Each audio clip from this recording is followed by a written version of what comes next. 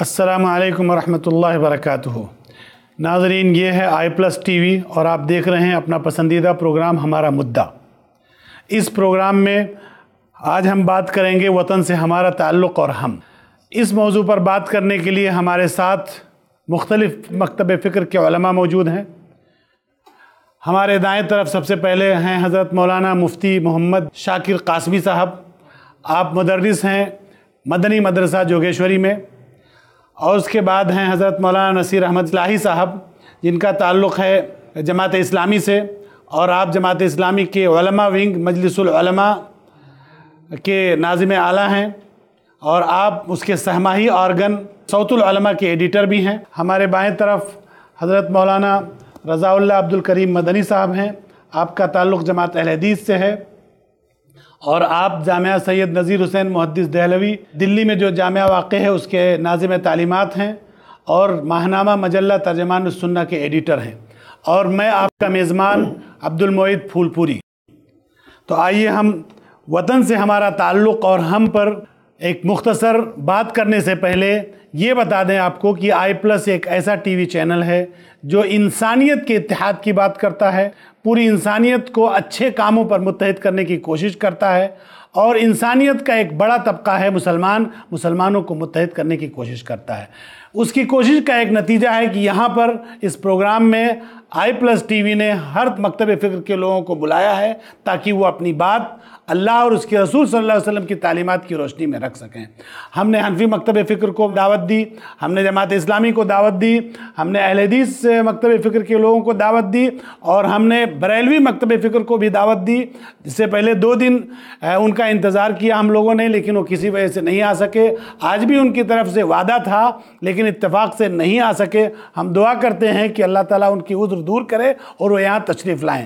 آئندہ میں بھی اس بات کی کوشش کرتے رہیں گے کہ ہر مکتب فکر کے لوگ یہاں آئیں اور اپنے پروگرام کے ذریعے اللہ اور اللہ کے رسول صلی اللہ علیہ وسلم کی تعلیمات کے ذریعے انسانیت کو اور امت مسلمہ کو متحد کرنے کی کوشش کریں، متفق کرنے کی کوشش کریں۔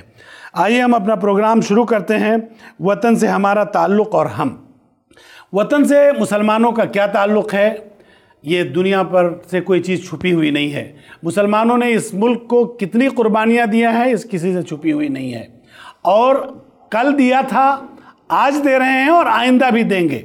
لیکن یہ ایک موضوع ہے جس پر ہم علماء کے ذریعے سننا چاہیں گے اور جاننا چاہیں گے کہ مسلمانوں کا تعلق اس وطن سے کیا ہے۔ سب سے پہلے میں حضرت مولانا رضا اللہ عبد الکریم مدنی صاحب سے پوچھوں گا کہ مولانا وطن سے تعلق کا اسلامی تصور کیا ہے؟ قرآن و سنت کیا فرماتی ہے کہ وطن سے کیسا تعلق ہونا چاہیے؟ الحمدللہ، والصلاة والسلام علی رسول اللہ۔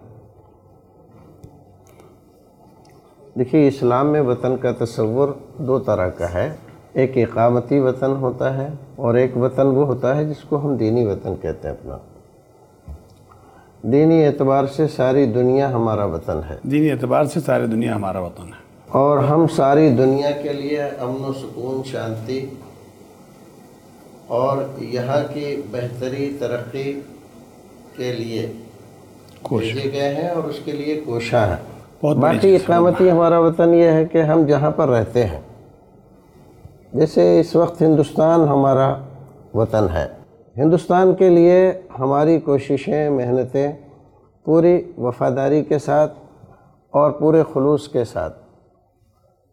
اس تصور کے ساتھ کہ اس ملک کی ترقی ہماری ترقی ہے اور اس ملک کی تنزلی ہماری تنزلی ہے۔ یہاں کا امن و امان ہمارے لیے مفید ہے۔ اور یہاں کی اشانتی ہمارے لیے دکھ دائی ہے، تکلیف دینے والی ہے۔ یہ تصور ہمیں ہر وقت اسلام نے دینے کا اور رکھنے کا تصور دیا ہے۔ ہم جہاں کہیں بھی رہیں تو ہم اپنے ملک کے لیے وفادار رہتے ہیں۔ یہ مانتے ہوئے کہ اگر ہم یہاں رہ رہے ہیں اور یہاں کی ترقی ضروری ہے تو اس میں ہماری ترقی بھی شامل ہے۔ لیکن ایک مولانا مطلب یہ ہے کہ ایک تصور سے میری مراد یہ ہے کہ کیا مسلمان وطن سے تعلق میں وطن کو کیا نام ہے اپنا معبود بنا سکتا ہے یہ میں جاننا چاہ رہا ہوں۔ یہ سب چیزیں تو کر ہی رہے ہیں۔ اسلام ایک ایسا دین ہے جس میں ایک و اشروات وحدانیت کا تصور اسلام کی اصل اور بنیاد ہے۔ اس سے وہ کسی بھی صورت انحراف نہیں کر سکتا۔ نہیں کر سکتا۔ نقطہ برابر انحراف بھی اس کو اسلام سے باہر کرنے کا سبب بن جاتا ہے۔ سے مولانا آپ نے بہت اچھا فرمایا۔ مولانا محمد شاکر قاسمی صاحب میں اسی سوال کو آپ سے دہراؤں گا کہ وطن سے تعلق اور وطن سے محبت کا اسلامی تصور کیا ہے؟ قرآن و سنت کیا کہتے ہیں اس سلسلے میں؟ الحمد للہ وقفا وسلام علی عبادہ الذین اصطفیٰ دیکھیے اسلام اور قرآن حدیث یہ سب دین فطرت ہے جو انسان کی فطرت ہے، اسی حساب سے اللہ رب العزت کے احکامات ہیں۔ اور یہ جو وطن سے تعلق ہے، وطن سے محبت ہے، یہ بھی خالق ارض و سما نے انسان کی فطرت میں رکھی ہے یہ چیز۔ وطن سے انسان کو فطری تعلق ہوتا ہے۔ اور اسلام میں بھی اس کا تصور ہے کہ اسلام جو ہے، وہ وطن سے تعلق کا جو ہے، حکم دیتا ہے۔ نبی پاک علیہ صلاۃ وسلام جب مکہ چھوڑ کر اپنا اصلی وطن چھوڑ کر مدینہ تشریف لے جا رہے تھے تو آپ علیہ السلام کے دل میں وطن کی محبت جوش مارنے لگی۔ اور آپ نے تو اپنے وطن کی طرف دیکھتے ہوئے کہا کہ اے وہ میرے پیارے مکہ اگر تیرے رہنے والے مجھے تجھ سے نہ نکالتے تو میں یہاں سے کبھی نہ نکلتا۔ اس سے پتہ چلتا ہے کہ وطن سے تعلق جو ہے یہ فطری ہے۔ فطری ہے۔ مولانا نصیر احمد اصلاحی صاحب وطن سے اسلام، محبت وطن سے تعلق کا اسلامی تصور کیا ہے؟ دیکھیے، وطن سے تعلق اور وطن سے محبت کا تصور یہی ہے کہ انسان کا فطری تقاضا ہے۔ بھائی، چرند اور پرند بھی جس جگہ رہتے ہیں، اس کو پہچانتے ہیں، اس سے محبت کرتے ہیں اور شام ہوتے ہی وہاں واپس آ جاتے ہیں۔ تو انسان تو ان سے بڑھ کر کے ہے۔ میں اصل میں جی، میں یہ جاننا چاہ رہا ہوں میں فطری ہاں۔ فطری بات تو آپ لوگ کہہ رہے ہیں فطری اور یہ سب میں یہ جاننا چاہ رہا ہوں کہ کیا ہم بحثیت مسلمان جی۔ کی پرستش کر سکتے ہیں؟ جیسے ایک بات عام طور پر اٹھتی ہے کہ مسلمان وندے ماترم نہیں کہتا جی۔ ہے مسلمان اس دھرتی کی پوجا کرنے سے انکار کرتا ہے۔ ایسا مطلب کیا ہے؟ آپ لوگ کیوں اس کو ایسا نہیں کرتے ہیں آپ؟ دیکھیے مذہب اسلام جو ہے اس میں وحدانیت ہے ایک الہ کا تصور ہے۔ وہ ہمارا معبود ہے ہم صرف اسی کی پوجا کر سکتے ہیں کسی اور کے سامنے مسلمان کا سر نہیں جھک سکتا ہے۔ تو پوجا عبادت الگ ہے اور پریب اور محبت الگ ہے۔ اچھا مطلب پرستش پوجا اور محبت اور تعلق جی یہ ہاں۔ دونوں الگ الگ چیزیں ہیں۔ تو ہم تو ہمارا معبود تنہا وہی ہے ہمارا سر اسی کے آگے جھکے گا کسی کے آگے نہیں جھکے گا۔ مگر جہاں تک وطن سے محبت کا تعلق ہے تو ہم وطن سے محبت کرتے ہیں اس میں شریعت حائل نہیں ہے۔ شریعت اس میں حائل نہیں حائل نہیں ہے۔ وطن سے محبت کریں گے پیار کریں گے مگر وطن کو ہم معبود نہیں بنائیں گے پوجیں گے نہیں۔ اور یہ جو محبت اور تعلق ہے یہ یہی فطرت کا ہوا ہے کہ انسان جہاں پیدا ہوتا ہے اس سے محبت اس جگہ سے ہوتی ہے اس سے تعلق ہوتا ہے۔ ابھی مولانا نے جو اللہ کے رسول کے بارے میں فرمایا تو وہی فطری جذبہ تھا کہ اللہ کے رسول جب جا رہے تھے اللہ کے رسول وطن سے محبت اور تعلق کو کیسے مضبوط مانا جائے؟ اسلامی نقطہ نظر سے جب آپ کہتے ہیں کہ میں یہ نہیں کروں گا میں یہ نہیں کروں گا میں یہ نہیں کروں گا ان کا مطالبہ غلط ہے کہ آپ اس دھرتی کی پرستش کیجیے یا بھارت کے مسلمان غلط ہیں؟ دونوں میں سے کون غلط؟ دیکھیے جب ہم اس کو معیار پر کستے ہیں کسوٹی پر دیکھتے ہیں تو ہم کو یہ لگتا ہے کہ جو مطالبہ ہم سے کیا جا رہا ہے یہ سراسر سازش شرارت بدماشی اور ہمیں تکلیف دینے کے لیے کیا جا رہا ہے۔ اچھا۔ جب بھی اس وطن کو ضرورت پیش آئی ہے تو ہم نے اس وطن کے لیے اپنی گردنیں کٹائی ہیں۔ لیکن اس وطن کے لیے آج بھی ہم اپنی گردن کٹانے کے لیے تیار ہیں لیکن سر جھکانے کے لیے تیار نہیں۔ جب گردن کٹانے کے لیے تیار ہے تو سر جھکانے میں کیا نقصان سر جھکانے میں یہ ہے کہ سر جھکانا عبادت ہے۔ اور گردن گردن کٹانا عبادت نہیں ہے۔ اس کی حفاظت کے لیے گردن ہم نے کٹائی ہے۔ جنگ آزادی ہم نے لڑی ہے۔ ہم ہی نے اس کا بگل بجایا ہے اور اس اس کے لیے ہم نے ایک دو نہیں ہزار دو ہزار نہیں لاکھوں علماء کرام کی شہادتیں پیش کی ہیں۔ بہت بڑی بات ہے بہت بڑی بات ہے۔ لیکن اس کے باوجود آپ جو مطالبہ کر رہے ہیں یہ مشرکانہ تصور ہے آپ کا۔ ہم مشرک نہیں ہیں ہم مواحد ہیں توحید کے ماننے والے ہیں۔ آپ اپنے مشرکانہ تصور کو ہمارے اوپر کیوں تھوپ رہے ہیں؟ آپ کریے ہم آپ کو کہاں منع کر رہے ہیں۔ لیکن آپ ہم سے کیسے مطالبہ کر سکتے ہیں کہ ہم بھی وہی کریں؟ آپ یہ چاہتے ہیں کہ ہم اسلام چھوڑ کر مشرک بن جائیں؟ یہ تو آپ کا مطالبہ غلط ہے۔ نہیں بہرحال یہ ہے کہ اگر وہ یہ زبردستی کرتے ہیں کہ آپ شرک کریں تب تو غلط کر رہے ہیں۔ ملک کا دستور بھی اس چیز کی اجازت نہیں دیتا ہے۔ ملک کا آئین بھی اس چیز کی اجازت نہیں دیتا ہے۔ جب نہیں دیتا آئین میں ہمیں اس بات کا حق دیا۔ یہاں جتنی بھی اقلیات ہیں جتنے بھی مذاہب کے ماننے والے ہیں سب کو اپنے اپنے مذہب پر اپنے مذہب کے اعتبار سے عمل کرنے کی آزادی دی گئی ہے قانون میں۔ اور ہم اسی کے انوسار چل رہے ہیں۔ تو ہم سے اس کے خلاف مطالبہ کیوں کیا جا رہا ہے؟ مولانا محمد شاکر قاسمی صاحب، اگر کچھ لوگ ہماری سماج سے آپ سے یہ مطالبہ کرتے ہیں کہ آپ وندے ماترم پڑھیں اور آپ ایسی باتیں کریں جس سے لگے کہ ہاں آپ کو اس ملک سے تعلق ہے، محبت ہے تو اس کے کرنے میں کیا نقصان ہے؟ یہ دیکھیے آپ لوگوں نے محبت کا تعلق پرستش سے عبادت سے جوڑا ہے بالکل غلط ہے۔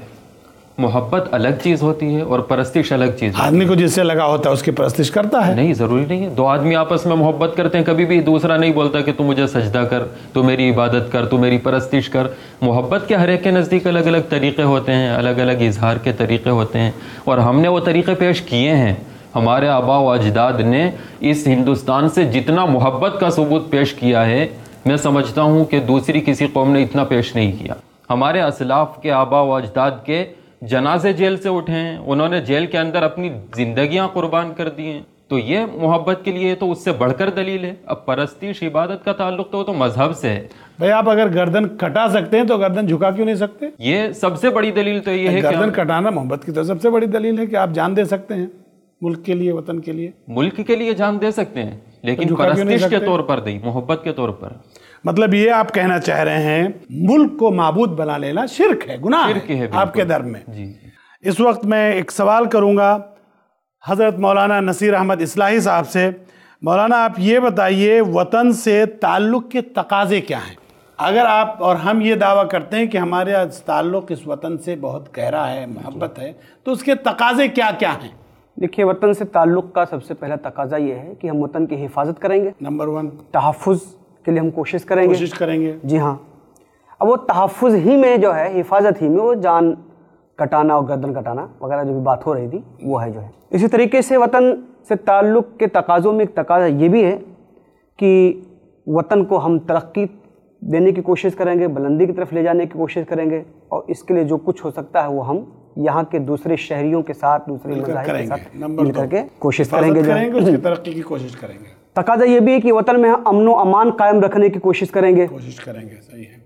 اگر یہاں پر کوئی فساد چاہتا ہے بگاڑ چاہتا ہے ظلم و انصافی ہو رہی ہے تو اس کی روک تھام کے لیے ہم اٹھیں گے اپنی آواز بلند کریں گے احتجاج کریں گے۔ جو کچھ کر سکتے ہیں وہ سب ہم کریں گے۔ اور یہاں اشانتی پھیلنے نہیں دیں گے کیونکہ شانتی ہی کسی ملک کے لیے کسی وطن کے لیے جی نمبر تین۔ دوسری بات یہاں جتنے دبے کچلے لوگ ہیں ہم ان کو بھی ان کے حقوق دلانے کی کوشش کریں گے۔ کوشش کریں گے۔ ایک اہم بات یہ کہ ہمارے وطن میں ایک دستور ہے ایک سمویدھان ہے اور اس سمویدھان کے مطابق وطن چلتا ہے۔ تو ہم کوشش کریں گے کہ اس سمویدھان کے مطابق ہمارا وطن چلے اس میں جس کو جو حقوق دیے گئے ہیں اس کے پورے کے پورے حقوق اس کو مطلب ملے کوئی غصب نہ کر دستور کی بالادستی جی چاہتے ہیں۔ دستور کی بالادستی چاہتے۔ ہیں قانون کی بالادستی چاہتے ہیں اور ہر ایک اس سمویدھان کے دائرے میں جواب دہ ہے۔ جواب دہ ہے۔ کوئی بھی اس سے آزاد نہیں ہے۔ تو یہ ساری چیزیں وطن سے محبت کے تقاضوں میں ہیں جو میں سمجھتا ہوں۔ مولانا محمد شاکر قاسمی صاحب وطن سے محبت کے تقاضے۔ لیکن میں یہ چاہوں گا کہ وہ باتیں نہ آئیں جو ریپیٹ ہوں۔ انہوں نے جو کہیں اس سے ہٹ کر کچھ باتیں آنی چاہیے۔ جو مولانا نے بولی ہے اس کو تو ریپیٹ کرنا ہی پڑے گا۔ اور وہ میں سمجھتا ہوں کہ ہر ہندوستان کا ہر مسلمان اس کی یہ چاہت ہونی بھی چاہیے اور اس کی چاہت ہے بھی وہ۔ وہ ہے دستور کی بالادستی۔ دستور کے بالادستی نمبر ون۔ یہ نمبر ون ہونا چاہیے صحیح کہا ہمارے بڑوں نے جو دستور بنایا ہے ہمیں اس سے پورا اتفاق ہے۔ انہوں نے سب کو انصاف دینے کی کوشش کی ہے وہی ہماری بھی کوششیں ہیں۔ اور اس کے اندر ساری باتیں آ جاتی ہیں۔ کمزور لوگوں کو حق دلا دینا۔ کمزور لوگوں کو حق دینا عورتوں کی آپ نے بہت بڑی بات کہی اور بہت اچھی بات کہی کہ اگر وطن میں دستور کی بالادستی قائم رہی تو تحفظ امن اور شانتی سب مظلوم۔ سب کچھ ملتا رہے گا۔ ترقی کرے گا۔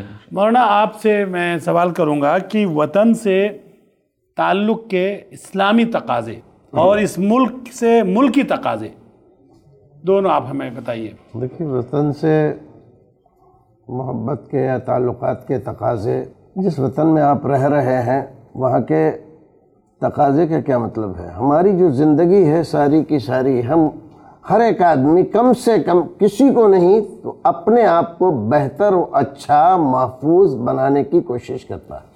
بہت اچھی بات۔ اور اس سے تو کوئی انکار نہیں کرے گا۔ اور جب ہم اپنے آپ کو محفوظ رکھنے کی کوشش کرتے ہیں اور یہ محفوظ رکھنا ہمارا تبھی ممکن ہے جب ہمارا ماحول ہمارے آس پاس ہمارا ملک محفوظ ہو۔ ملک میں اشانتی ہو گلی کوچوں میں گنڈے لفنگے پھر رہے ہوں مار کاٹ ہو رہی ہو تو ہم کیسے تصور کر سکتے ہیں کہ ہم محفوظ ہیں؟ تو سب سے بڑا تقاضا یہ ہے کہ ہم اپنی ذات سے کسی کو بے جا تکلیف نہ تکلیف نہیں دیں گے۔ اور یہ بھی چاہیں گے کہ کوئی ہمیں بھی تکلیف نہ دے۔ صرف اتنی بات نہیں ہے کہ ہماری ذات سے تکلیف نہ ہو اور ہمیں جو چاہے ستاتا رہے۔ نہیں ایسا بھی نہیں ہوگا۔ جب تک اس کا ہاتھ نہیں پکڑا جائے گا اور ہاتھ نہیں کاٹا جائے گا اس کا تب تک اس ملک میں یا کچھ کوئی بھی ملک ہو کسی بھی کوئی بھی سماج ہو اس میں شانتی نہیں ہو سکتی۔ ہے گنڈا ایلیمنٹ جو دہشت گرد ہیں سماج میں اشانتی پھیلانے والے ہیں بہبید کرنے والے ہیں لوگوں کو ان کو اگر کھلا چھوڑ دیا جائے اور ان کو چھوٹ دے دی جائے قانون اور قانون نافذ کرنے والے سارے ادارے ان کے ساتھ ہمدردی جتائیں تو آپ کیسے شانتی کا تصور کر سکتے ہیں؟ محال ہے ناممکن ہے ہو ہی نہیں سکتا۔ کوشش اس بات کی ہونی چاہیے کہ یہ ملک سب کا ہے صرف مسلمانوں کا نہیں ہے۔ ساری ذمہ داریاں مسلمان کے مسلمان کو یہ کرنا چاہیے مسلمان کو یہ کرنا چاہیے ٹھیک ہے؟ دوسرے لوگوں کی بھی کچھ ذمہ داریاں ہیں کہ نہیں؟ ستا میں بیٹھنے کے بعد آپ صرف اپنے آرڈر نافذ کریں اور اپنی ذمہ داریوں کو بھول جائیں۔ یہ کون سی محبت ہے؟ مولانا یہاں چونکہ ہم ایک اسلامک ٹی وی چینل پہ بات کر رہے ہیں ہماری ذمہ داریوں پر ہم بات کر رہے ہیں۔ ہم یہ جاننا چاہیں ہم کو کیا کرنا ہے؟ ہماری ذمہ داریوں پہ بات کریں گے لیکن ہماری ذمہ داریاں غیروں کی ذمہ داریوں سے الگ ہو کر نہیں دیکھی جائیں گی۔ صحیح ہے۔ مولانا نصیر احمد اصلاحی صاحب وطن کے تقاضوں میں ایک بہت بڑی بات آئی کہ دستور کی بالادستی قائم ہو۔ جی۔ اور دستور کی بالادستی قائم ہوگی تو جتنے بھی چیزیں نیچے ہیں سب مینٹین ہو جائیں گی۔ فسادات امن اور شانتی اور ایسے لیکن آخر دستور کی بالادستی کو قائم کرنے کے لیے ایک بہت بڑا تقاضا ہے ہم سے۔ اس کے لیے مسلمان کیا کر رہا ہے دیش میں؟ دیکھیے دستور کی بالادستی کے قیام کے لیے مسلمان بہت کوشش کر رہا ہے۔ کیا کر رہا ہے؟ مسلمان ہماری جو ملی تنظیمیں ہیں اور ہمارے زوما اور دانشور جو ہیں اگر آپ نظر ڈالیں آپ کے علم میں بات ہوگی بھی میرے خیال سے۔ مسلسل اس کے لیے آواز بلند کر رہے ہیں کوششیں کر رہے ہیں دوسرے طبقات کو ساتھ لے رہے ہیں۔ کر رہے ہیں۔ کئی کئی پروگرام ہوئے کانفرنسیں ہوئیں اور ہماری ملی تنظیمیں آگے بڑھ رہی کیا آپ کو نہیں لگتا ہے کہ دستور کی بالادستی پارلیمنٹ اور اسمبلی سے قائم ہوتی ہے اور مسلمان پارلیمنٹ اور اسمبلی میں پہنچنے کی کیا کوشش جی، کر جی، رہا ہے؟ یہ بتائیں نا وہ- پھر کانفرنس اور جلسے تو آپ روز کرتے ہیں ہمیں اس وہ سے پھر کیا سوال؟ وہ پھر سوال ہو جائے گا کہ مسلمانوں کا سیاسی ویژن کیا ہونا چاہیے۔ ہم ویژن کی سوال نہیں کر رہے ہم یہ کہہ رہے ہیں جی دستور ہاں۔ کی بالادستی قائم ہوتی ہے پارلیمنٹ اور اسمبلی سے۔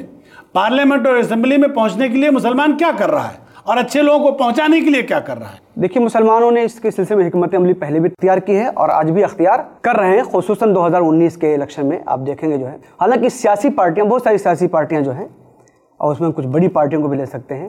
گرچہ وہ سنجیدگی کا مظاہرہ نہیں کر رہی میرے مشاہدے کے مطابق وہ سنجیدگی کا مظاہرہ نہیں کر رہی جو ہونا چاہیے۔ مگر مسلمان اپنی ذمہ داری پوری پوری ادا کرنے کی کوشش کر رہے ہیں۔ مولانا میں آپ سے پوچھنا چاہوں گا کہ دستور کی بالادستی یہ قائم ہوتی ہے پارلیمنٹ اور اسمبلی سے، جو قانون کے گھر ہیں، قانونی ادارے ہیں۔ اور وہاں آپ کی کوئی نمائندگی ہے کہ نہیں ہے؟ اگر نہیں ہے تو کیوں؟ اور ہے تو کیسے اور مزید کیسے بڑھائی جائے؟ میں یہ سمجھتا ہوں کہ جس کی جو ذمہ داری ہے مسلمانوں میں سے، جو بھی جتنے امیر ہیں، ہمارے قائد ہیں، وہ اپنی اپنی ذمہ داری الحمدللہ ایک حد تک نبھا رہے ہیں۔ بہت بڑی حد تک نبھا رہے ہیں۔ آپ دیکھیں یوٹیوب پر دیکھیں یا کسی کو بھی جو بڑے بڑے ہیں، مثال کے طور پر ایک دو کا نام لے لیتا ہوں۔ ہمارے حضرت مولانا ارشد مدنی صاحب کو آپ سنیں ان کی ایک ہی آواز ہے کانفرنسوں میں بھی ایک ہی آواز ہے کوئی ان کا انٹرویو لے وہاں بھی ایک ہی میں میں آواز یہ نہیں کہہ رہا دیکھیے کانفرنسوں جلسوں ان سب پر میں بات نہیں کر رہا ہوں۔ مسلمانوں کی متحدہ کوشش ایسی کچھ ہے کیا کہ مسلمان کا جانا ضروری نہیں ہے پارلیمنٹ اسمبلی میں؟ بالکل ضرور ایسے لوگ جائیں مسلمان نمائندے رہے ہیں اور رہتے آئے ہیں۔ ایسے لوگ جائیں پارلیمنٹ اور اسمبلی میں چاہے وہ مسلم ہو چاہے نان مسلم ہو جو قانون کی بالادستی کی بات کر سکیں قانون کی بالادستی۔ کی کوشش کر سکیں۔ اس کے لیے مسلمان کیا کر رہا ہے؟ جو وہاں تک پارلیمنٹ تک جن کی رسائی ہے جو وہاں تک پہنچ سکتے وہاں سے وہ آواز اٹھا رہے ہیں۔ اور جن کی جہاں تک رسائی ہے اسی حساب سے آواز اٹھائیں گے نا۔ اب زبردستی تو وہاں گھس نہیں سکتے۔ جن کو جتنا حق ہے وہ اسی حساب سے بول رہا ہے۔ زبردستی ملک کا ایک سیاسی پروسیس ہے پولیٹیکل پروسیس ہے۔ اس پروسیس میں کیا کر رہا ہے مسلمان؟ تو مسلمان کو اس کا پورا حق نہیں دیا جا رہا بولنے کا۔ جتنا اسے بولنے کا حق ہے وہ چیخ رہا ہے اپنی جگہ سے۔ مولانا میں یہی سوال ریپیٹ کروں گا آپ سے کہ مسلمان کو یہ بات کھل کر سامنے آ رہی ہے کہ دستور کی بالادستی یہ سب سے بڑا تقاضا ہے۔ سب کو اس کی کوشش کرنی چاہیے۔ اسی سے ملک میں ہر طرح کی خوشحالی آئے گی۔ مسلمان اس کے لیے کیا کر رہا ہے؟ ضروری نہیں کہ مسلم نمائندے ہی جائیں نان مسلم اچھے لوگ جائیں تو دستور کی بالادستی کی کوشش کر سکیں۔ مسلمان پورے ملک میں اس پولیٹیکل پروسیس میں ایسی کون سی کوشش کر رہا ہے جس سے دستور کی بالادستی قائم کرنے والے لوگ پارلیمنٹ اسمبلی میں پہنچیں؟ مسلمان تو صرف تمنا کر رہا ہے آرزو کر رہا ہے۔ یہ ہوئی کوئی بات یہ ہوا جواب۔ کے علاوہ اس کو کوئی اور اختیار دیا نہیں جا رہا ہے۔ جو مسلمان پارلیمنٹ میں جاتا بھی ہے وہ کسی سیاسی پارٹی سے جڑا ہوا ہوتا ہے۔ سیاسی پارٹی والے کہتے ہیں ہماری جو پارٹی ہے اس کی سیاست سے الگ ہے یہ بات آپ یہ نہیں کہہ سے سکتے۔ کہ آپ کو پولیٹیکل پروسیس میں الیکشن لڑنے کی اجازت نہیں ہے؟ دیکھیے اس بات سے میں بہت حد تک متفق نہیں ہوں۔ ہاں آپ جواب دیجیے جی۔ بتائیے کیوں اسے متفق نہیں ہیں آپ؟ اہم بات یہ ہے کہ مسلمان جو ہے میں جو بات آپ سے پہلے کہنا چاہتا تھا مسلمانوں کا کوئی سیاسی ویژن نہیں ہے۔ ویژن ویژن کی میں بات کر رہا ہوں اصل میں۔ اصل میں سیاست کی بات نہیں کر رہا ہوں میں سیاسی ویژن کی بات کر رہا ہوں۔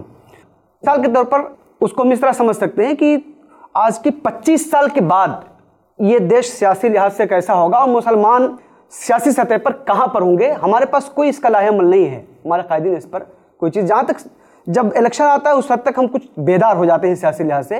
کچھ اپیلیں کر لیتے ہیں کچھ کانفرنسیں کر لیتے ہیں کسی کی تائید کر دیتے ہیں۔ کچھ منشور وغیرہ جاری کر لیتے ہیں۔ مگر جہاں تک سیاسی ویژن کی بات ہے وہ گزشتہ ستر سالوں سے ہم کو اور آج بھی نظر نہیں آ رہی کہ کوئی سیاسی ویژن بن سکے۔ تو جب تک سیاسی ویژن ہمارا نہیں بنے گا اس وقت تک نہ ہم خود پارلیمنٹ پہنچ سکتے ہیں نہ ایسے لوگوں کو ہم پہنچا سکتے۔ ہیں کیا فرمانا ہے مولانا؟ آپ پہنچ جائیے کچھ بھی کریں۔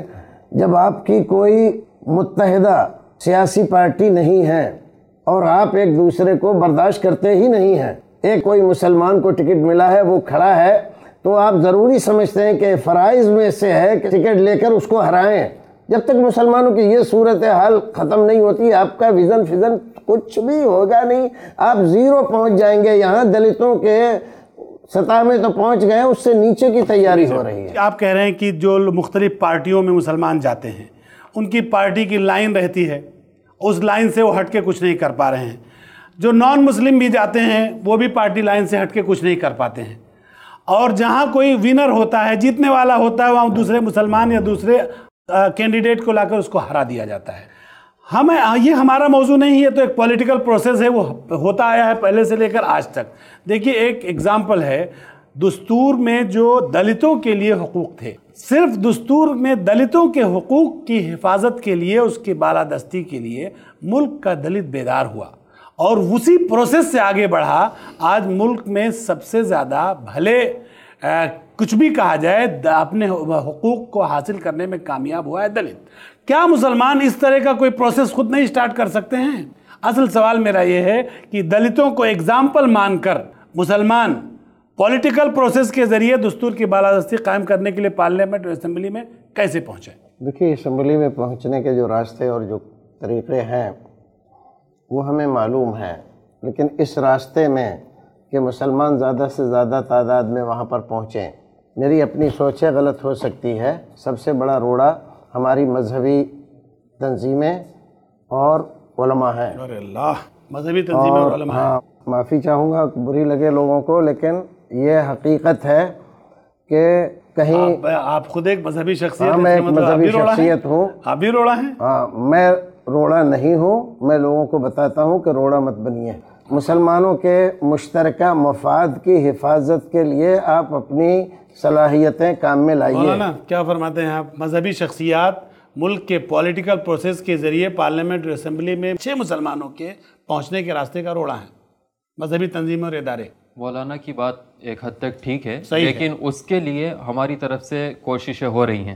اور ہماری طرف سے اب سب سے بڑی کوشش یہ ہے اس وقت کی کہ جتنی بھی آپ دلتوں کی بات کر رہے ہیں بنیوں کی بات کر رہے ہیں جتنے بھی مظلوم طبقے ہیں دستور میں جن کا جو حق ہے وہ نہیں دیا جا رہا ان کو تو ہماری کوشش یہ ہے کہ ان لوگوں کو اپنے ساتھ میں بھی ملائیں۔ مذہبی اختلاف تو ختم کرنا ہی ہے اس سے آگے بڑھ کر ہمیں جو مظلوم طبقے ہیں انہیں بھی اپنے ساتھ میں لینا ہے۔ اور ان کو اپنے ساتھ میں لے کر پھر مطلب ہمیں مولانا کی بات سے آپ متفق ہیں۔ آپ متفق ہیں کہ مذہبی تنظیمیں پولیٹیکل پروسیس میں اچھے نمائندوں کو پارلیمنٹری اسمبلی میں پہنچنے کی راہ میں روڑا ہے جی دیکھیے جو ہے اصل میں یہاں سیاسی شعور کی بات اس سے پہلے ہم کر رہے تھے جو ہے۔ اچھا سیاسی شعور سیاسی شعور کی بات ہم ہاں۔ کر رہے تھے۔ ابھی یہ اس کا جواب آپ دے دیں پھر واپس آتے ہیں سیاسی شعور پر۔ یا یہاں بھی سیاسی شعور کی کمی ہے۔ اس وقت جو ہے اس وقت یہ صورتحال نہیں ہے۔ بہت حد تک بیداری مسلمانوں کے مذہبی طبقات میں بھی آئی ہے۔ کہ اس کے لیے وہ کوشش کر رہے ہیں؟ بہت کچھ انہوں نے سیکھا ہے ستر سالوں یہ میں۔ بہت اچھی بات ہے، ستر سالوں میں بہت کچھ سیکھا ہے۔ ستر خوش فہمی ہے ابھی تک کوئی بھی تبدیلی مسلمانوں میں ایسی پیدا آج بھی کوئی مسلم لیڈر نہیں، کھڑا خوش- ہوتا ہے۔ خوش فہمی پہلے یہ دیکھا جاتا ہے یہ سنی ہے وہابی ہے بریلوی ہے کہ دیوبندی ہے۔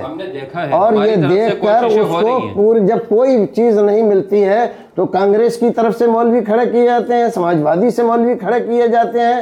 اور اس کی سنیت اور وہابیت چاہے وہ بے نمازی ہو نماز پڑھتا ہی نہ ہو اس کو سنی وہابی سے کوئی مطلب نہ ہو۔ پھر بھی اس کو دیکھ کر کے اس کا باپ کیا تھا تو؟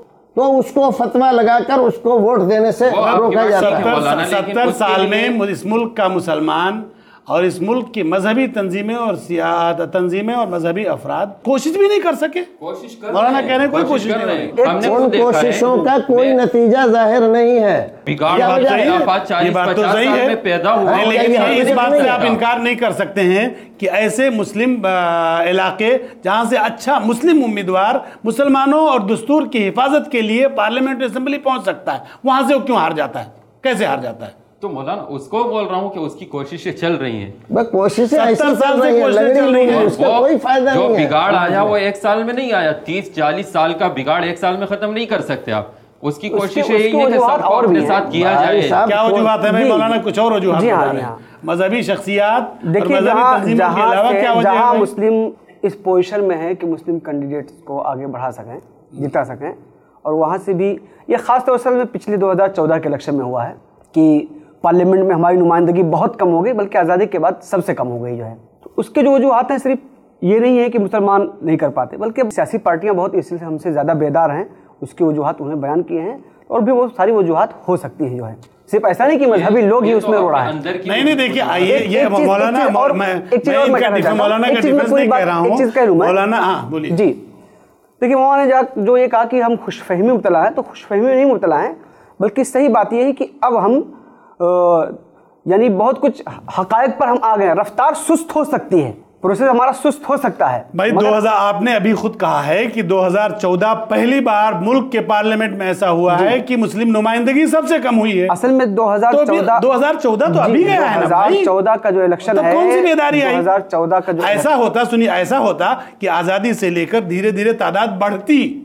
تو ہم کہتے بیداری آ رہی ہے۔ یہاں تو یہ ہو رہا ہے کہ تعداد گھٹ گئی۔ مولانا ایک بڑی اچھی چیز ہے یہ بات بڑی اچھی آئی کہ وطن سے مسلمان ہمارا تعلق پر یہ بات چل رہی ہے۔ اور اس میں یہ بات آئی کہ دستور کی بالادستی کے لیے پولیٹیکل پروسیس میں انوالو ہونا چاہیے۔ اور اس کے ذریعے مسلمانوں کو اپنی نمائندگی بڑھانی چاہیے۔ لیکن ایک چیز جو اور کھل کے اس چیز میں آ رہی ہے کہ آپ تمام مذہبی شخصیات ہیں۔ آپ کو اس چیز کا بھی احساس ہے کہ مذہبی تنظیمیں اور مذہبی ادارے کے اندر سیاسی شعور بیدار ہونا چاہیے۔ میں یہ سمجھ رہا ہوں جتنی باتیں آ رہی ہیں، اس سے یہ سمجھ میں آ رہا ہے کہ آپ کے ملک کے پولیٹیکل پروسیس کو گراؤنڈ لیول پہ آپ جان رہے ہیں کہ یہ سب آپ کے خلاف سازش ہو رہی ہے۔ اس کے باوجود، یہ جاننے بوجھنے کے باوجود یہ ساری آپ بھی جان رہے ہیں۔ آپ بھی جان رہے ہیں آپ بھی جان رہے ہیں۔ بیماری کا پتہ آپ کو چل گیا ہے۔ تو میں آپ سے پوچھ رہا ہوں مولانا بطور ایک عالم دین اور ایک مکتب فکر کے نمائندے کے حیثیت سے آپ یہ بتائیے کہ اس کا کیا علاج ہے کیا کر رہے ہیں؟ بیماری جان رہے ہیں پھر بھی علاج نہیں کر رہے ہیں۔ کیوں نہیں کر رہے ہیں؟ اس کا علاج یہی ہے کہ آپس کا جو مذہبی اختلاف ہے اس کو تو سب سے پہلے ختم کر دینا چاہیے۔ مسلمانوں کے دین اور مذہب میں بھی اس کی اجازت نہیں ہے نہیں ہے۔ آپس کے اختلاف کی۔ اللہ تعالیٰ نے فرمایا وَاعْتَصِمُوا بِحَبْلِ اللَّهِ جَمِيعًا وَلَا تَفَرَّقُوا. اللہ کی رسی کو مضبوط پکڑ لو ایک دم اور آپس میں اختلاف مت کرو فرقے مت بناؤ انتشار مت پھیلاؤ۔ تو یہ تو مسلمانوں کے دین کا تقاضا ہے کہ آپس کے اختلاف مطلب آپ یہ کہنا چاہ رہے ہیں کہ ہم بیماری جان بوجھ کر علاج اس لیے نہیں کر پا رہے ہیں کہ ہم متحد نہیں ہیں۔ یہی کہنا چاہ رہے ہیں آپ۔ متحد نہیں ہے اور متحد ہونے کی کوشش کر رہے ہیں۔ کوشش کر رہے ہیں؟ جی۔ چلیے وہ ہمارا ایک الگ اپنے اختلاف ختم کر دیے دوسروں کو جوڑنے کی کوشش میں لگ رہے ہیں۔ دوسروں کو مطلب دوسرے مسلم فرقوں مظلوم, کو مظلوم طبقے جو ہیں مسلم فرقوں کو یا دوسرے غیر مسلم غیر مسلم کو بھی۔ اور مسلم, مسلم کو, کو بھی مسلم کو بھی اور غیر مسلم کو بھی اپنے ساتھ جوڑنے کی کوشش کرتے ہیں۔ مولانا بیماری پتہ ہے آپ کو؟ جی۔ تو علاج کیوں نہیں کیا جا رہا ہے بھائی؟ نہیں علاج کیا جا رہا ہے؟ ایسا نہیں کہ علاج نہیں کیا جا رہا ہے۔ کہاں ہے وہ علاج؟ نہیں اب یہ دیکھیں علاج مطلب میں کیا ہوتا ہے؟ کبھی کبھی دوا جی جی دوائیں کبھی فوری اثر کر دیتی ہیں اور کبھی دیر میں اثر کرتی ہیں مگر علاج تو ہو رہا ہے۔ میں نے کوئی ایک علاج بتائیے جو کل مجلس کے بعد۔ ہاں، مسلم مجلس مسلم مشاورت۔ مسلم مجلس ڈاکٹر فرید کے بعد کوئی ایسی کوشش نہیں ہوئی۔ شابدین صاحب آئے انہوں نے بہت حد تک اس میں کوشش کی لیکن ابھی تک مجھے وہ مضمون یاد ہے کہ سید شہاب الدین، کون ہیں؟ مطلب اس میں نیچے لکھتا ہے وہ کہ کون ہے وہ؟ سنی ہے وہابی ہیں، شیعہ ہیں، ایسے ہیں، ویسے ہیں۔ یہ بتائیے کہ مسلمان کو یہ سوچنے کی ضرورت ہے سید شہاب الدین کے بارے میں کہ یہ سنی ہیں کہ وہابی ہیں، بریلوی ہیں، کہ دیوبندی ہیں۔ ایک مسلم لیڈر آتا ہے تو ہم اس کو انہی جھگڑوں میں پھنسا کر اس کو سب سے پہلے مار دیتے ہیں۔ ایک اچھا آدمی جو پارلیمنٹ میں بول سکتا ہے، ہماری نمائندگی کر سکتا ہے، ہم اسے اس لائق نہیں رکھتے کہ وہ وہاں پر جائے۔ آپ کا کہنا ہے کہ ایک دو کوشش ایسی بتائیں۔ تو میں آپ کو ایک دو کوشش مثال کے طور پر بتاتا ہوں۔ ایک پروگرام ہوا نیرل کے اندر اور اس میں ہمارے قائد، ان کا سب سے بڑا پیغام پورے دن کا پروگرام تھا وہ، ان کا سب سے بڑا پیغام انہوں نے یہی دیا ہے، دور دراز سے آنے والے سب مہمانوں کو اور اپنے جتنے بھی تعلق والے ہیں سب کو ایک پیغام یہ دیا کہ بھائی آپ لوگ اپنے محلے میں جا کر گھومو پھرو گشت کرو چکر لگاؤ اور جو لوگ تم سے دور بھاگتے ہیں ان کے قریب جاؤ انہیں اپنے پاس لانے کی بہت اچھی بات کرو. ہے بہت اچھی بات ہے مولانا نے جو بات کہی مولانا جو کا جو یہ کہنا ہے وہ یہ ہے کہ ملک کے پولیٹیکل پروسیس میں اور آپ نے بھی وہی بات کہی آپ نے بھی وہی بات کہی کم و بیش۔ یہ سمجھ کے بات آ رہی ہے کہ پولیٹیکل پروسیس میں دستور کی بالادستی کے لیے مسلم اور غیر مسلم اچھے لوگوں کو پہنچانے میں مسلمان ناکام اس لیے ہو رہا ہے کہ وہ آپسی مذہبی اختلاف کا شکار ہے۔ کیا آپ اس بات سے متفق ہیں؟ یہ خالی یہی وجہ نہیں ہے صرف یہ وجہ نہیں ہے یہ بھی وجہ ہے لیکن اس کے علاوہ اور بھی۔ خالی یہی وجہ ہے۔ یہ سب سے بڑی وجہ ہے۔ سب سے بڑی وجہ ہے اور دوسری بات یہ ہے کہ ہم جو بنیاد ہے اس کی، ہم ووٹ، ووٹر بنانا مسلم تنظیمیں اس سلسلے میں، پچھلے الیکشن کے بعد سے کچھ کوشش اس میں ہوئی ہے، اس سے پہلے کبھی کوشش نہیں کی۔ پھر اس کے بعد جو اور ہمارے ساتھ زیادتیاں ہوئی ہیں کہ زبردستی قصبہ ہمارا ہے نوے فیصد آبادی ہماری ہے اور وہ دلت گھوشت کر دی گئی سیٹ۔ اس کے لیے کیوں نہیں لڑتی ہے مسلم؟ پارٹیاں یہ تنظیمیں کیوں نہیں آواز اٹھاتی؟ کوئی پارٹی آپ بتائیے کسی نے آواز اٹھائی ہو اس طرح کی؟ آپ کے یو پی کے یو پی کے نوے فیصد قصبات جو اکثریتی مسلم اکثریتی قصبات ہیں سب وہ سرکشت ہیں یا تو مہیلا کے لیے یا دلت کے لیے؟ آپ نے کہا کہ دو الیکشن سے مسلم قوم میں بیداری آئی ہے اس سے پہلے کسی کی کوئی کوشش نہیں تھی ایک چیز کی بیداری انہوں نے کہی ہے سب کی نہیں ووٹر لسٹ میں نام ڈالنے کی یہ بات انہوں نے کہی ہاں۔ ابھی دیکھیے جو تو اس سے یہ پتہ چلتا ہے کہ اس کی ایک بڑی وجہ جو ہے نا یہ ووٹنگ ہی ہے۔ جو نئی پارٹی اقتدار میں آتی ہے نا وہ اس کی ایک بڑی وجہ ہے۔ ایک سوال ہے جو میں اس وقت مولانا رضا اللہ عبد الکریم صاحب سے پوچھنا چاہوں گا اور میں یہ چاہوں گا کہ مولانا اس کو آپ مختصراً لیکن نمبر وائز گنائیے، وطن کے لیے مسلمانوں کی قربانیاں۔ بھارتی وطن کے لیے مسلمانوں کی قربانیاں۔ تاریخ سے اب تک۔ جلدی جلدی۔ دیکھیے، پہلے جو کچھ بھی ہوا ہے، وہ تو مسلمانوں کا ہی ہے۔ آزادی کے بعد سے اگر ہم ذکر کریں، تو جنگ آزادی میں سب سے زیادہ قربانیاں جن لوگوں نے دی ہے وہ مسلمان ہیں۔ اور ان میں بھی سب سے زیادہ جن لوگوں نے قربانیں پیش کی ہیں وہ ہیں علماء کرام۔ علماء کرام ماشاء اللہ بہت بڑی چیز ہے ہاں۔ یہ قربانیاں ملک کی سلامتی کے لیے تھیں اللہ کی رضامندی اور خوشنودی کے لیے تھیں۔ اور یہاں ہر ایک آدمی کو یہاں اپنے مذہب کے مطابق آزادی کے ساتھ جینے زندہ رہنے اور زندگی گزارنے کے حق کے لیے یہ کوششیں تھیں۔ بہت بڑی چیز ہے بہت بڑی چیز ہے۔ مسلمانوں نے اس ملک کے لیے جو کچھ بھی ان کے امکان میں ہے وہ سب کچھ کیا ہے۔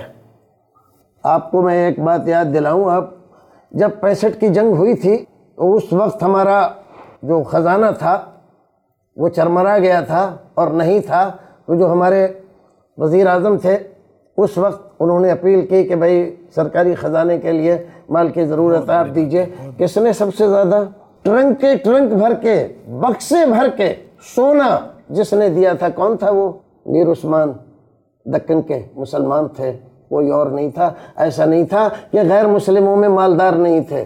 آج بھی بڑے بڑے مالدار ہیں۔ زیادہ مالدار تو آج بھی غیر مسلموں میں۔ بڑے پیمانے پر اتنا سونا کونٹلوں کے حساب جو بکسوں میں بھر کر ہوائی جہاز میں وہاں سے یہ آج کی۔ تاریخ ہے تاریخ ماضی کی نہیں تاریخ آزادی کی بات نہیں کر رہے ہیں مولانا آج کی تاریخ بات۔ یہ کیسے نے دیا؟ مسلمانوں نے دیا۔ یہاں میزائل کس کے نام جا رہا ہے؟ مسلمان کے نام جا رہا ہے۔ مسلم ہندوستان کو ایٹامک پاور گھوشت کرانے میں کس کا ہاتھ ہے؟ ابوالکلام عبدالکلام صاحب۔ آپ جو جنگ ہوئی تو اس میں پیٹن ٹینک کو توڑنے والے کون تھے؟ میر عبدالحمید۔ کون تھا؟ مسلمان ہی تو تھا۔ مسلمانوں کی قربانیاں تو بے شمار ہیں لیکن جب معاملہ پھنس جائے ایسے لوگوں میں جو بے انصاف ہوں تو آپ کی ساری اچھائیاں بھی خراب کر دی جاتی ہیں۔ مولانا وطن کے لیے مسلمانوں کی قربانیاں ان قربانیوں کو علاج مولانا نے گنایا ہے۔ بہت نمایاں قسم کی قربانیاں ماما نے گرائی ہیں۔ ظاہر سی بات ہے اور اس کے علاوہ کیا گنایا جا سکتا ہے؟ مسلمان تو ہر قدم پر قربانی پیش کر رہا ہے جو ہے۔ ویر عبدالحمید کی بات ماما نے کہی، یا جنگ آزادی کی بات کہی ہو، یا آزادی کے فوراً بعد جب گاندھی جی نے وطن کے لیے چندے کی اپیل کی تھی، تو اس وقت سب سے پہلے بڑھ کر کے مسلمانوں نے چندہ دیا تھا، بلکہ ایک خاتون نے تو اپنا پورا مکان دے دیا تھا جو ہے اس وقت جو ہے۔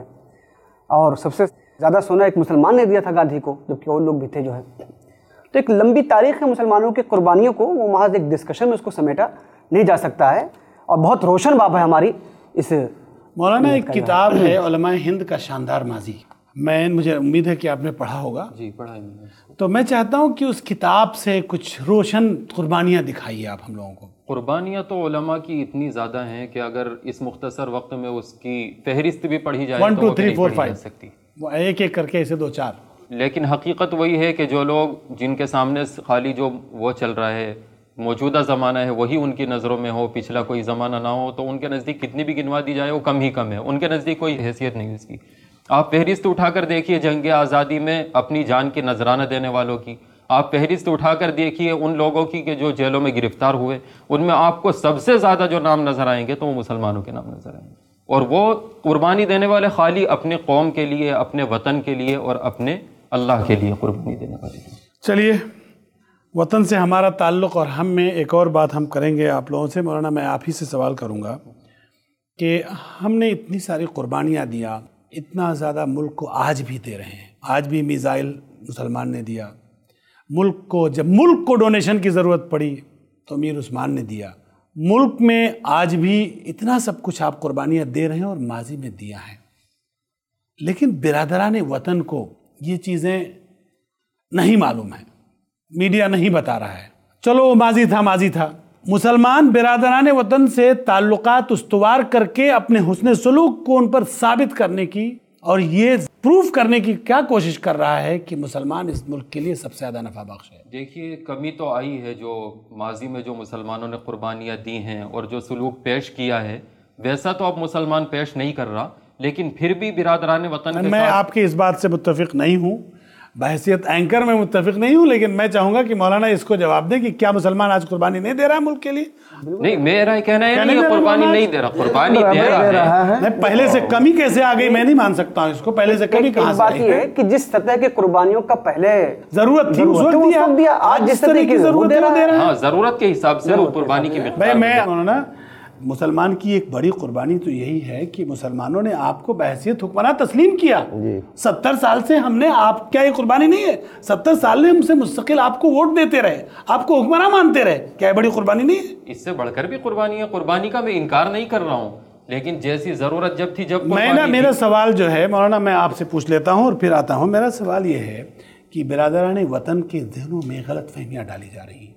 ان کو سمجھایا جا رہا ہے، کوشش کی جا رہی ہے میڈیا کے ذریعے کہ مسلمان اس ملک کا وفادار نہیں ہے، اور یہ غلط ہے۔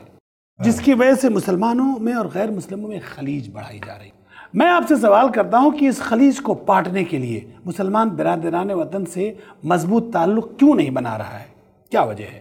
دیکھیے، بات یہ ہے کہ بگڑتی ہے جب ظالم کی نیت نہیں کام آتی، دلیل اور حجت۔ آپ حجتیں دلیلیں لیے پھریں جب ہم سنتے ہی نہیں، مانتے ہی نہیں آپ کو، تو آپ کچھ بھی کرتے رہیں، اس کا فرق کیا پڑے گا؟ یہ جو اس وقت جن لوگوں کے ہاتھ میں ستہ ہے، ان لوگوں نے آنے کے بعد سے صرف یہ نہیں ہے کہ ظلم و زیادتی اور قوانین بدلے ہیں اور دلتوں کے اور اقلیتوں کے خلاف کیا کیا اندرونی طور پر سازشیں کی ہیں، وہ تو آپ جانے دیجیے۔ حد تو یہ ہے کہ کیا انہوں نے مولانا؟ میرا سوال یہ ہے کہ مسلمان اپنی اچھائیوں اور بھلائیوں کے ساتھ برادران وطن کے بیچ میں کیوں نہیں جا رہا ہے؟ وہی میں ان سے تعلقات استوار۔ کیوں نہیں کر رہا ہے؟ مسلمان تعلقات استوار کر رہا ہے برابر جا بھی رہا ہے لیکن حالات ایسے خراب کیے جا رہے ہیں کہ مسلمان جانے کی ہمت اور حوصلہ نہ کرے۔ یہ جو آج کہیں پر بھی کسی بھی سڑک پر آپ کو پکڑ کر کوئی بھی الزام لگا کر آپ کے ٹفن کو دیکھ کر آپ کے بکسے کو دیکھ کر اور وہاں پر یہ کہہ دیا جائے کہ یہ ہے اور بھیڑ کوئی دیکھ دیکھتی نہیں ہے کہ ہے بھی کہ نہیں ہے کوئی بھی الزام لگا دیا جائے۔ وطن یہ جو صورتحال ہے اس میں آپ کیا کر سکتے ہیں؟ صحیح کہا آپ نے۔ وطن سے ہمارا تعلق کا ایک حصہ تو یہ بھی ہے نا۔ کہ ہم برادران وطن سے تعلقات کو مضبوط کریں۔ جی۔ مسلم جماعتیں تنظیمیں مذہبی ادارے مذہبی لوگ برادران وطن سے تعلق بنانے کی کیا کوشش کر رہے ہیں؟ بہت اہم سوال ہے۔ موجودہ سینیریو میں یہ۔ خاص طور سے اس ملک میں جہاں مقلیت میں ہوں اور ہمارے برادر آپ صرف سوال کا جواب جی دیجیے۔ ہاں۔ آپ سوال کی اہمیت پر جانے دیجیے۔ جی۔ صرف سوال دیکھیے جو ہے تعلقات استوار کرنے کی کوشش کی جا رہی ہے اور ان کی جو غلط فہمیاں ان کے اندر پیدا کی گئی تھی، اس کو دور کرنے کی بھی کوشش کی جا رہی ہے۔ چنانچہ آپ دیکھیں یہاں پر دلت، جن کی تعداد زیادہ ہے۔ جب مسلمانوں نے ہماری بعض تنظیموں نے ان سے روابط پیدا کیے اور جو کچھ ان کے ذہنوں میں اسلام کے تعلق سے، یہاں کے مسلمانوں کے تعلق سے بعض تنظیموں نے غلط فہمیاں پیدا کر دی تھی، جب ان کو صحیح بات سننے کا موقع ملا وہ کہہ رہے تھے ہم اس کو نہیں جانتے تھے لیکن یہ مولانا یہ آپ کے کوشش کا نتیجہ ہے میں اس کو نہیں مان سکتا ہوں ذاتی طور پر مسلمانوں کی کوشش مسلمانوں نے۔ برادران وطن سے اتنے تعلقات گہرے کر لیے یہ بات نہیں ہے، ایک وجہ ہے یہ۔ جی۔ بات نہیں ہے بلکہ وہ ایشو خود برادران وطن کی نگاہ میں ان کو پتہ چل گیا ہے کہ وہ حقیقت صرف الیکشن جیتنے اور ہارنے کے لیے استعمال کی جا رہی ہے مولانا میں آپ سے جاننا چاہوں گا تو وطن سے تعلق کا تقاضا یہ ہے کہ برادران وطن اور ہمارے بیچ میں جو خلیج بڑھائی جا رہی ہے، اس خلیج کو کم کرنے کے لیے اقدامی طور پر مسلمان آگے آئیں۔ کیوں آگے نہیں آ رہے ہیں اور اگر آگے آ رہے ہیں تو کیا کر رہے ہیں؟ مسلمان آگے آ رہا ہے، وہ تعلقات استوار کرنا چاہتا ہے، لیکن اس میں ایک بڑا کردار میڈیا کا ہے۔ وہ جو ہے، اچھائیوں کو چھپاتا ہے اور برائیوں کو اچھالتا ہے۔ جتنے بھی تعلقات استوار ہوتے ہیں، جتنی بھی کوششیں ہوتی ہیں، وہ سب منظر عام پر ہی نہیں آتی ہے برائیاں سب سے پہلے منظر عام پر آتی ہیں۔ لیکن یہ ہے کہ سوشل میڈیا کا زمانہ ہے آپ جو کریں گے سوشل میڈیا پہ ڈالیے وہاں سے دکھے گا۔ کیا کر رہے ہیں؟ ہم کو تو نہیں میں بھی سوشل میڈیا پہ ہوں۔ ہم کو تو نہیں دکھ رہا۔ سوشل میڈیا کا دائرہ کتنا ہی بڑا آپ مانے پھر بھی محدود ہے۔ وہ ٹی وی کا اور اخبار کا مقابلہ نہیں کر سکتا۔ یہاں پر جو آپ کہہ رہے ہیں کہ مسلمان کیوں نہیں جا رہے ہیں کہ یہاں پر حالات بہت اچھے تھے۔ خراب کیے گئے ہیں ہمارے اور غیر مسلموں کے تعلقات بہت اچھے تھے خلیج بڑھائی گئی۔ خراب کیا گیا ہے۔ خلیج بڑھائی گئی ہے اب اس کے بعد ان میں کچھ لوگ ایسے پیدا ہوئے ہیں دلتوں میں جنہوں نے اس سازش کو سمجھا ہے اور سمجھنے کے بعد اب وہ یہ بات کر رہے ہیں ابھی یہ بات پچھلے دنوں آئی ہے کہ ڈاکٹر امبیڈکر کو پارلیمنٹ میں پہنچانے کا شیئر کس کو جاتا ہے؟ مسلمان کو جاتا ہے۔ مسلمانوں کو جاتا ہے کہ مسلمانوں نے اپنی سیٹ سے جس سے وہ لڑتے تھے انہوں نے ووٹ دے کر ان کو پارلیمنٹ پہنچایا۔ ورنہ ہندوستان میں کوئی ایسی جگہ نہیں تھی جہاں سے غیر مسلم لوگ ان کو پہنچا کر اور دلت بھی کسی جگہ اس پوزیشن میں نہیں تھے اکٹھے نہیں تھے کہ ان کو پارلیمنٹ پہنچا دیتے۔ یہ مسلمانوں کا دل گڑتا تھا کہ ان کو وہاں پر پہنچایا۔ اور آج وہ سمجھ رہے ہیں اس بات کو۔ اور یہ بات یہ رکنے والی نہیں ہے یہ آگے چلے گی اور حالات بدلیں گے انشاءاللہ۔ ہندوستان کی فضا بہتر ہوگی تعلقات بھی ہمارے بہتر ہوں گے کیونکہ جن لوگوں کو ہمارے خلاف اکسایا جاتا تھا لڑایا جاتا تھا بھڑکایا جاتا تھا وہ لوگ اس سازش کو سمجھ چکے ہیں۔ ناظرین ہم نے ہم وطن سے ہمارا تعلق اور ہم پر بہت اچھی بات کی۔ ہمارے ساتھ الگ الگ مکتب فکر کے علماء موجود رہے۔ اور بہت ہی ہیلتھی ڈسکشن ہوا۔ ہم کو ایک بات کا تکلیف رہی اور افسوس رہا کہ اس ہمارے پروگرام میں، اتنے اچھے پروگرام میں بریلوی مکتب فکر کا کوئی عالم ہوتا، وہ بھی اپنی سوچ رکھتا تاکہ ہم امت کے اتحاد، اس ملک کی خدمت کے لیے ایک بہترین منصوبہ بندی کی طرف قدم اٹھا سکتے۔ اور ان چیزوں پر بھی ہمیں توجہ دینی چاہیے۔ میں علماء کرام سے اپیل کروں گا اور تمام امت مسلمہ سے اپیل کروں گا کہ ان لوگوں کی باتوں پر کان کبھی نہ دھریں جو مسلک کے نام پر آپ کو یا ہم کو روکتے ہیں کہ اس پروگرام میں مت جاؤ، اس مسجد میں نماز نہ پڑھو، ان لوگوں سے مت ملو، یہ لوگ بلائیں تو ہم مت جاؤ۔ اس طرح کی چیزوں سے ہمیں ایوائڈ کرنا چاہیے۔ اس ڈسکشن میں آپ نے دیکھا کہ دستور کی بالادستی کے لیے مسلمان جتنی بھی کوششیں کرتا ہے، اس میں ناکامی کی ایک بڑی وجہ آپسی مذہبی اختلافات ہیں۔ آپسی مذہبی اختلافات پھیلانے والے ہر طرح کی مذہبی شخصیت اور علمات کو آپ نظر انداز کریں اور ملک کی سالمیت اور اتحاد اور اس کی خدمت کے لیے پہلے مسلمانوں کو متحد کریں اور پھر ملک میں بسنے والی تمام انسانوں کو متحد کریں۔ یہی آئی پلس ٹی وی کا پیغام ہے، یہی ہمارا مدعا کا پیغام ہے۔ ناظرین، ہم پھر جلد ہی حاضر ہوں گے کسی نئے ایپیسوڈ کے ساتھ، نئے پروگرام کے ساتھ۔ جب تک کے لیے انتظار کیجیے، ہم حاضر ہوں گے۔